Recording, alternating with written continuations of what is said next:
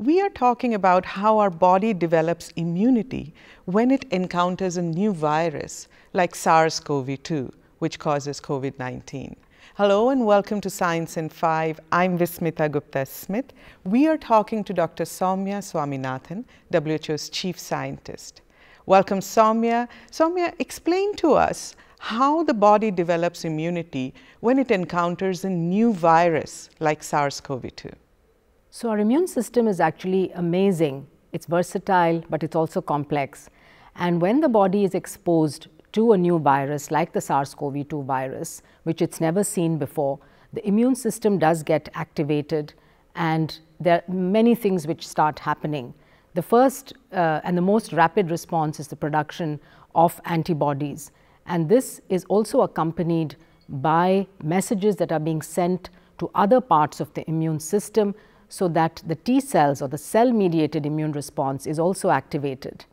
And ultimately what happens is that if the body's immune response is strong, it's able to overcome the virus and eliminate the infection, but also it develops a memory response so that the next time the body sees the same virus, it's able to respond much more quickly because the memory cells, both memory B cells and T cells in the body are able to recognize and respond. So, we all talk about antibodies all the time. It's one part of the immune system, but it's a much larger and much more complex uh, system which keeps us healthy and you know gives us the ability to respond to a lot of infections.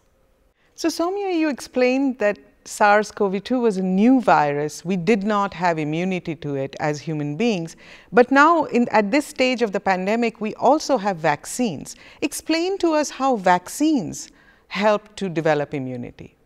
So, the way vaccines work, and they're an amazing, amazing innovation of the 20th century, um, is by mimicking the organism, the virus or the bacteria. And so, the spike protein of the SARS CoV 2 virus um, is taken and made into a vaccine. Of course, we know there are different types of vaccines, mRNA, the virus vectored vaccines, inactivated, but they all do the same thing and that's present in a safe way the antigen of the SARS-CoV-2 to the body. And so the immune response that's generated is very similar to the immune response to a natural infection, but of course the vaccines are a safer way of stimulating the immune system. So, Soumya, if I've been infected, do I still need the vaccine?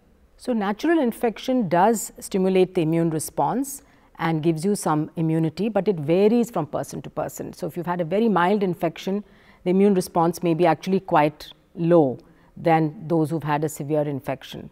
And we don't know exactly how long it will last. In some people, it lasts a few months, in some people, it goes to a year. So, the advantage of getting vaccinated, even if you've had prior infection is that you're really boosting that immune system and ensuring that your immune system will have a good memory to this virus so that it has a very good response if you get exposed in the future, particularly to new variants with new mutations.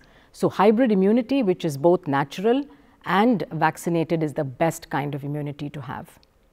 Soumya, explain to us why it's important to still keep observing these protective measures like masks, physical distancing, uh, opening doors and windows to circulate air, not going into crowds, washing hands. Why is that still important if we have a vaccine, if many people have already been infected and may have some level of immunity? So, we're still learning a lot about the immunity to this virus. And what we know now is that people who've had the infection in the past and certainly those who've been vaccinated or both have good immune responses which protect you from getting sick even if you get infected. The current vaccines that we have today are very effective at preventing people from getting severely ill and ending up in the hospital, but are not 100 percent effective against infection. So, even if you are vaccinated, you can still get the infection, which means you're infectious, you can pass it on to others even though hopefully you're not going to be severely ill yourself. Also, we've seen with the variants that are emerging, uh, and especially with the latest Omicron variant of concern, that it was able to overcome the immunity. and therefore it was able to infect a lot of people who'd actually had previous infection or who'd been vaccinated. Luckily, because of their immunity, they didn't get ill, but they still were infected, and that's why it's important to continue to mask and to continue to observe the other public health measures, particularly if there's a lot of virus still circulating in your community. Thank you, Soumya. That was Science in 5 today. Until next time, then, stay safe, stay healthy, and stick with science.